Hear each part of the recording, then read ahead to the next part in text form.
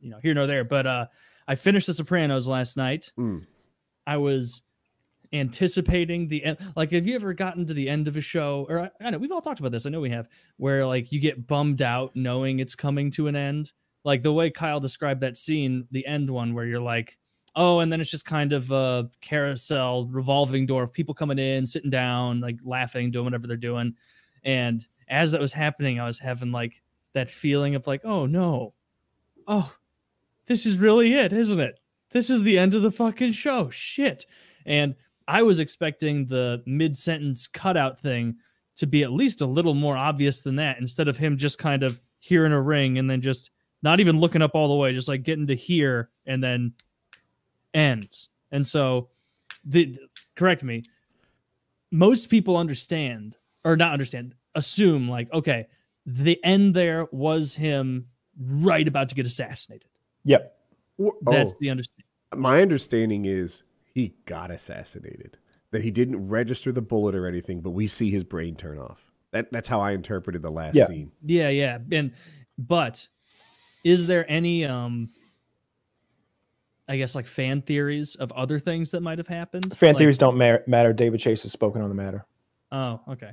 Well, never And mind. is that I guess it? he's dead. It's uh, what Yeah, Taylor that's it. He's dead. Yeah, they um, I don't know. I didn't put it together until other people like pointed it out to me. Killed AJ. There's a scene on a maybe a boat with Bobby Bacliata or something close to that, where where um Tony was describing how it happens, and he's like, it just goes to black or something. Maybe Kyle, you can do it better than I can. Yeah, yeah. I mean, you got you pretty much got it. He's like, bet you don't even feel it, huh? Yeah. It's just everything goes black. It's over. yeah. And they're, they're having that discussion because Bobby had never killed anybody. And then, of course, Tony uses that information to his advantage the next day when he sends Bobby to have to go assassinate that guy, that uh, that, that Frenchman, that, that French Canadian fella, because he Mhm. knew that was his the best way to hurt Bobby. Yeah, That's poor. Bobby. I Why felt was he bad for hurting Bobby Bobby again? because Because Bobby, Bobby beat him up. Oh, Bobby beat the shit out of him when they were playing uh, Monopoly or whatever, and uh, Tony was saying that Janice was blowing all the guys under a Under the under boardwalk. And under the Yeah. boardwalk. with Janice blowing some guy.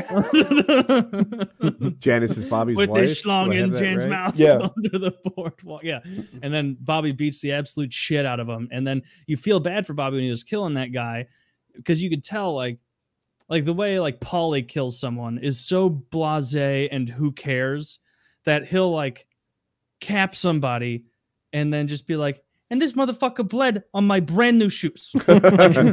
Brand new and he'll like be mad about it and like bobby shot that guy and uh, what i thought maybe one of you disagrees is when he walked up to the guy to like put it to his forehead and then shoot him there it was almost like bobby taking this way more seriously than the rest of them like if i'm Oh, gonna yeah. take life i need to i need to take it i need to He'd know, never like, killed I'm anyone here. before. yeah and so he takes it with a lot more you know solemnity or whatever the word would be than the other guys who just don't really give a shit just fucking murdering willy-nilly i was the biggest surprises in that show were chris dying i did Mhm. not expect chris to die i i would have bet like i liked bobby so much that i knew he was going to die at some Seemed point like an untouchable Chris- character.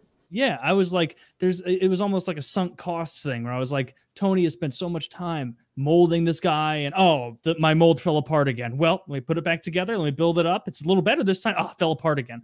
Well i put um, build it up again a little better this time. And so that that caught me right out of right out of left field. I did not expect him to murder chris right there. So that was a really intense scene what else did I know? I didn't expect Syl to get shot up like that so unceremoniously right at the end because it was almost like Syl, Paulie, and Tony were kind of quasi untouchables, where it's like, all right, that's him, and then that's uh, uh, his little shield underneath him, yeah, uh, concierge. or whatever it is. Uh, Close to that, yeah, yeah. and yeah, th- such a fantastic show. In a year or so, I'm going to rewatch that whole thing and probably pick up on more things.